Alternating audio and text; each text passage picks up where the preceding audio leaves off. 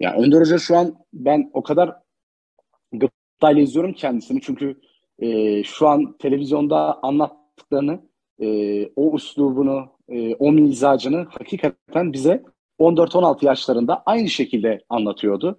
E, bazen insanlar işte olumsuz yorumlar yapabiliyor televizyondaki bu konuşmalarından ötürü ama Önder Hoca bundan 10 yıl önce, 15 yıl önce neyse bugün 15 yıl sonra da hala aynı birikimle ve üzerine koyarak da tabii devam etmiş bir birikimle ama aynı uslupla e, aynı rol modeliyle gençlere hala gençlere bir şeyler anlatmak durumunda kendini hissediyor. Çünkü işini çok seven bir adam.